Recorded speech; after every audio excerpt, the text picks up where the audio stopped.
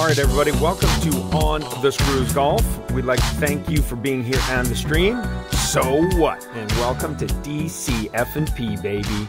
And again, thank you so much for attending, and please consider subscribing. All right, everybody, good afternoon. Good afternoon. Good afternoon. All right, first things first, again, this stream brought to you by American Honey Sting. Not only does this product taste great, it absolutely goes down extremely smooth, but with the Sting version, it gives you a kick. So, again, get that out of the way. Great product. Go get you some. All right.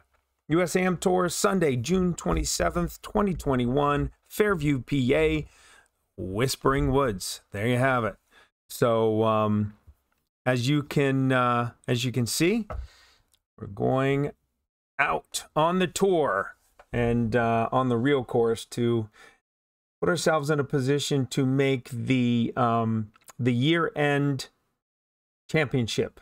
Okay, so let's get into it and let's take a look at some of the things that we're going to have to accomplish. All right, so here we are, um, Pittsburgh UAM USAM tour. And again, you can see right here, we're going to be playing in the Whispering Woods in Fairview, PA. Cost me $110. June 27th. It's just the uh, the Pittsburgh tour page. Go ahead and take a look at the um, the actual tournament page. Wanted to take a look at some of the stats here. You could see it's a par 72, 60, about 6,500 yards, 72.2 rating, slope of 141. The average par 3 is 171, playing the par 4s at about an average of 371, and the par 5s averaging at 521. You can take a look really quickly here at the um, the scorecard from the blue tees. 426, 152, 505, 288, 282, 183, 523, 423, and 374 for the front nine. Coming back in, you're at 451, par 4. It's a beast. 165, 518, 356, 184, 536, another pretty significantly long par 5. 300 yard par 4, 398 par 4, and then a strong finishing hole at 411.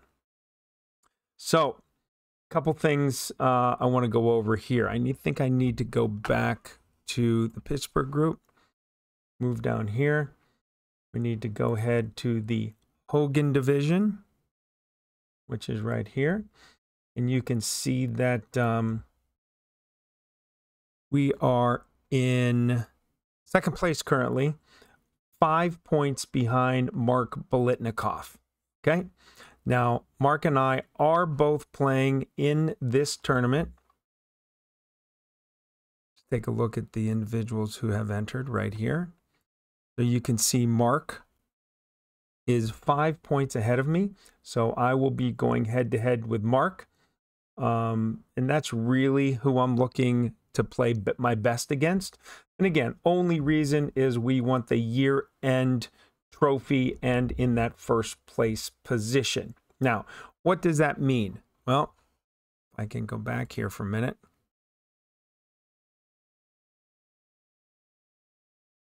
Sorry. What does that mean?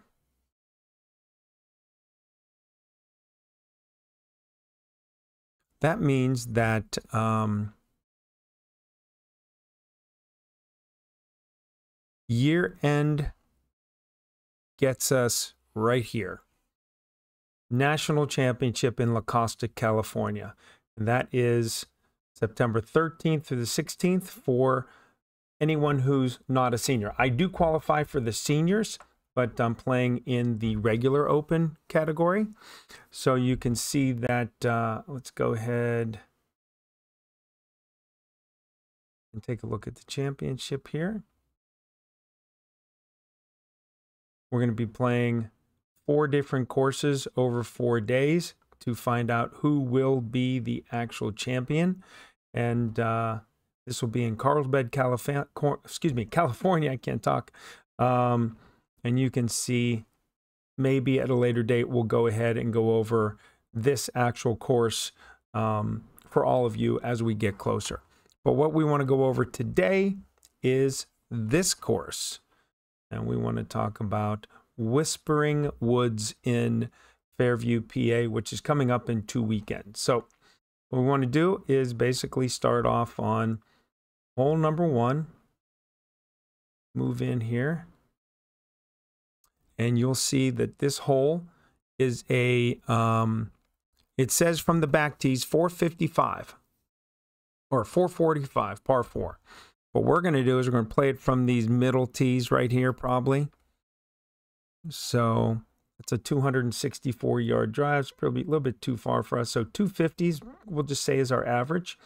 So, and then we want to see what we have coming in to the green and 172. So driver, six iron looks like uh, what we'll be playing there. Okay.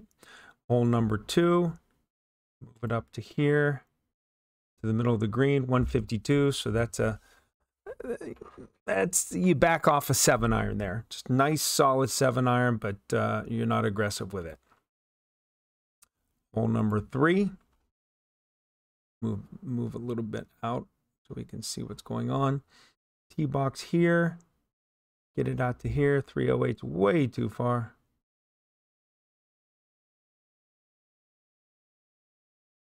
That looks good. 251. Uh, this is the par 5, obviously, so we'll place our drive there. This is going to be our second shot. Let's see how far that is. 218. So uh, we're going to go driver, 5 wood, and uh, hopefully beyond the green, putting for eagle. Okay. Hole number 4. Let's play it from... I think that's a tee box. Yeah. We'll play it from here. Put it out to here. So that's a 200 yard drive. So that right there is going to be another five wood, maybe even a three hybrid. And then from 200 into the green. Oops, sorry about that. I Closed in. So right here. This is so so touchy. This uh, this application. Click and click. So 67 yards. So anywhere between a three hybrid and a five wood, and then a 48 degree, about 60% of the 48 degree wedge. Okay, that's hole four. Taking a look at hole number five, let's move out a little bit. Again, we'll move the tee box over here put it down in here. So you're at 211 yards. We can probably scoot that down further to 230. So that could be a five wood and a three wood, anywhere between three wood and five woods. We'll just say we'll be in the middle here. Put it to there and then hit it on the green, 66 yards. So five wood, three wood, wedge, half a wedge. Okay, another 48 yard, 48 degree, and that's about half, 50%. Okay, hole number six par three. We'll move this up on the front tee box here and then middle of the green. 171 yards, another nice six iron, just a nice solid six iron up the hill. Get it on the green, see if we can't get a few putts. Make a birdie there. Hole seven, another long par five. So move it up to this tee box get it out to here 243 so let's move it over to about here right short of the bunker. 250 and then we'll move it from 250 all the way up to here which is 219 so that's a five wood. You don't want to push it anymore and get it over into the rough or anything like that so we'll just try to keep it in the short grass. And then from here just a short 50 yard pitch shot on the green, putting for birdie. All right, so nice looking fairway there, nice and large and expanse. So should be able to take nice smooth swings. Don't get over aggressive. Don't get your swing plane offline and just hit it down the middle each time. Get it on the green. Putt for birdie. Give yourself no less than a par there. Okay, so here, 240 probably want to see if we can't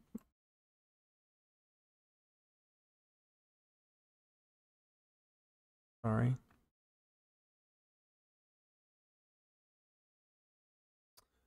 That's interesting it's not working now. All right so that's fine so we'll put it here. 186 so driver uh six iron, five iron, something like that. Looks a little bit downhill. So driver six iron. So that's eight. Let's go ahead and find hole number nine, which is right here. Go ahead and back, back that out. tee box here.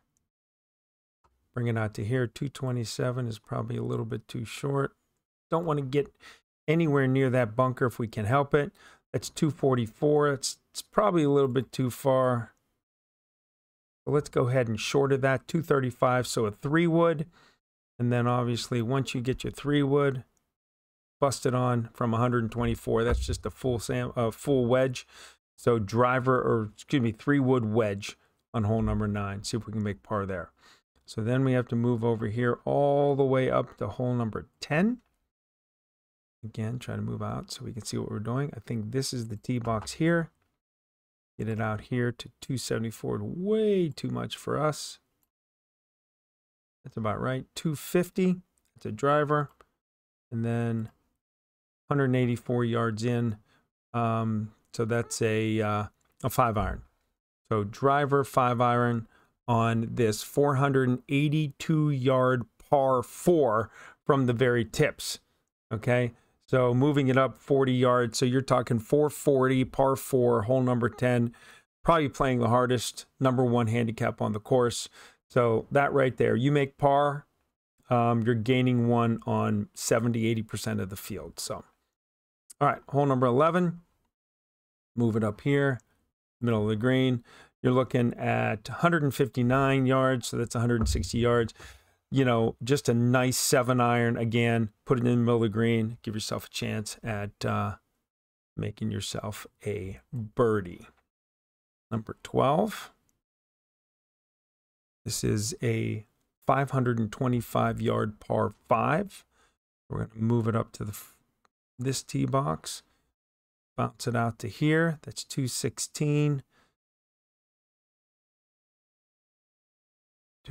250 to here. It's driver. And then take it from here. Put it down in here to 181 if you want to go for it. To the flag, it's 217. So I don't know too many non-professionals who are going to rope a 217 yard five wood right on the green from there. But, you know, if we move it and see that there's you know, some good space back here, so you can just chip back on still putt for birdie, might not be a bad thing. But also, probably the smart play is like right in here, 178, maybe right in here, 170 yard, nice little six iron right to there and then obviously just have a 55 yard pitch onto the green, guaranteed on in three, going for a birdie putt. So again, risk reward. What do you want to do? How do you feel that day? Did you screw up, you know, holes prior to that? So, you know, all about course and bag management. Okay, hole 13. Move it up to this tee box Bust it out here 215 right into into that spot you don't want to go too far so 224 so you're talking five wood maybe a soft three wood and then once you're out to there nice little 104 107 yard pitching wedge right into the green and that's all the way choked down to the iron for me okay full swing choke down all the way down to the iron and uh, stay on plane, hit it on the green. Putting for birdie. Okay, hole 14. Nice par3 up the hill. 163 yards. So again, really soft six iron choke down or a nice full seven iron, a little bit aggressive.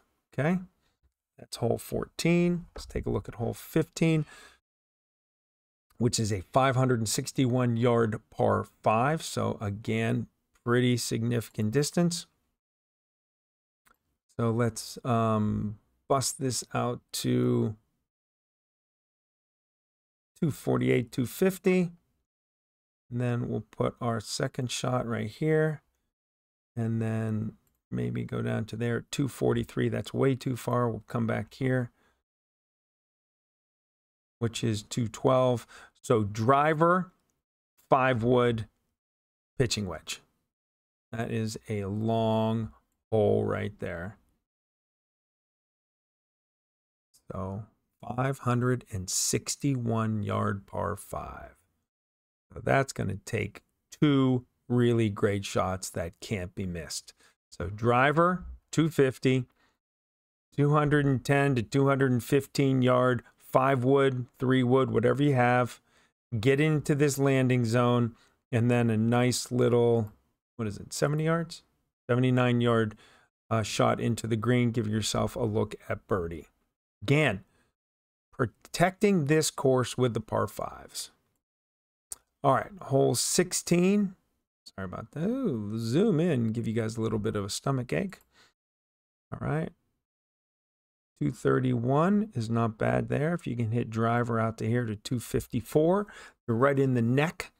This is a 320 yard par four. So let's say we just neck it right in there and you have a 40 yard pitch shot. So again, hit the driver safe and straight, get it out in here in that 2240 to 250 range, and you have yourself anywhere between less than 100 yards no matter what. So be safe on that. Don't be uber aggressive, yet at the same time, don't sit back on your laurels. You got to take advantage of some of these holes. Hole 17, I believe the tee box will be right there. Bust it out to here. That's 288, too far. 264 is too far. 250 is good. Um, and once we get to there, take it in at 132 yards. So driver nine iron, nice soft nine iron right in there. Give ourselves another look at birdie. And then of course, final hole 18. Where are we? Here we are down here. Open that up a little bit. See where we are. So to there. See what happens if you bring it out to here. 224. So can you bust it by everything right down here? 260, 250. So you're going to, you know, as all of these architects do, they put these bunkers in play to the average drive, right? So if you push it, you're in the bunker, it's going to make it that much more difficult to get it home. So this is a 435 yard par four finishing hole. What a great hole. Now, obviously, if you're back here, 198, you're going to have these trees here. You know, you're going to have a tough line. So you may have to just bring it over to here. So I'm going to try to play the the drive right over to here, about 240, 250 right here. Have ourselves that second shot in for 164. So driver, six iron, driver, seven iron, and uh, see if we can get it on the green and give ourselves at least a birdie putt and then hopefully solidify that par. Okay. So that's it. Whispering Woods. Um, starting on June 27th, 12 noon. This right here is, you know, something that we have to play well in. Love to take first place. That put us in about 120 points. That would really separate myself from Mark. Um, I wish Mark all of the best. Um, we'll give you an update um, after this tournament. We did play Latrobe Country Club um, two Sundays ago, and uh, I did. Uh, I didn't play well, um, and here's the reason why. So, you know, in this tour, they take your low, they throw it out. They take your high and they throw it out. Okay, and then they average all of those other scores to keep you in the correct division. And uh, you know, I I really didn't have much to worry about by staying in the Hogan division between an 8 and 11.9 handicap. Yet I was creeping down to possibly go into the player, which is 4 to 7.9. And uh, so on the first hole um, at Latrobe, made a bogey. Second hole, made a bogey. Third hole, legitimately, I made a 12. So my first three wood out of bounds onto the road, drop, hit it out of bounds in a lateral, drop. So it chunked it into the weeds, chunked it out, laying six, hit it over the leg, skipped it over the leg, hit these rocks, and bounced directly right out of the out of bounds lateral. Had to drop over there, chipped it out, hit it on, two putted for a 12. So my day was pretty much over at that point, as we knew. So I was playing for birdies and you know things like that. So I made a bogey, a birdie, bunch of pars all the way through the front nine, back nine. I started off with a couple bogeys. Then I made a, a six on a par three because I did this double cross five iron hook way left, made a triple there. Then the next hole is where it all fell apart. So I hit this amazing drive, best drive of the day and it went through the fairway and bounced up about a foot and a half from the bottom base of the ground into a tree and it stayed there. It got stuck in these little branches. So of course I had to take a drop, pull it out, take a drop, no, you know, no close to the hole, one club length. And I was in a group of five trees and I couldn't, I bunched it out about a foot or two, bunched it up again. Then my next shot hit it into the tree and it came all the way back about 35 yards. So I punched it over the green, chipped it on. I was on in seven and I five putted. I hate to say this, but on purpose. So I putted away from the hole, putted away from the hole again, putted it about 10 feet, just lagged it up, and then I putted in for a 12. And why would you say I did that? Well, my high score for the year in a snowstorm the beginning of the season was a 91. So you're going to throw out your highest score. So I wanted to make sure I beat that 91. So in the end, at the end of the day, with a bunch of pars and a seven at the end of the, on 18, I shot 99. So in the end, that 99 gets thrown out, my 73 gets thrown out, and I'm left with a bunch of 83s, 82s, 79s, 81s, and a 91. And that's my scoring average for the tournament, which keeps me solidified in the Hogan division. So, didn't play very well um, on hole number three for a 12, but I played really well, hit the ball really good and solid throughout the remainder of the day. But then, you know, I got thinking to myself, I'm, I'm not really making any birdies or runs at birdies today.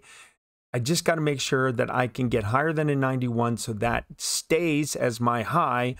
And my next highest, 99, would get kicked out. So that's the reason for the 99 at Latrobe Country Club. So 160 bucks I wasted really, um, but there was a method to the madness. So, all right, everybody, June 27th, next uh, next event but we're trying to position ourselves to be the number one ranked in the Pittsburgh division so that we make Carlsbad Cavern, um, California, in the national championship on the 13th through the 16th of September.